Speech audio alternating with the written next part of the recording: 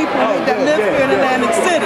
They take part of our food stamp to give to the ones who lost their jobs, but we still have a hard time here.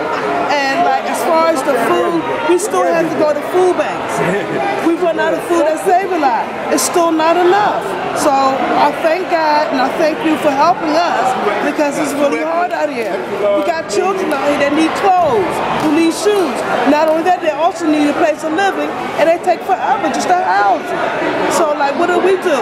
We pray, we help each other out as much as we can, and then at, at the end of the day, we still be looked at as low income